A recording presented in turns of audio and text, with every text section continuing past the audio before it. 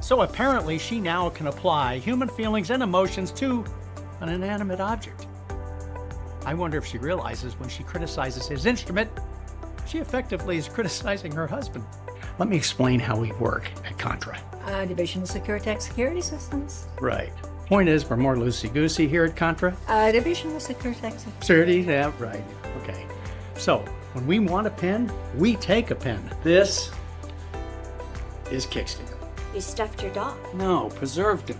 This is his favorite position. Like the kickstand on a bike. That's why I need a kickstand. You know, Jim, I have to be the most overpaid, underutilized fine arts librarian in the history of fine arts librarians. Do I need a reason? Just change the damn thing. That's what I'm paying you for.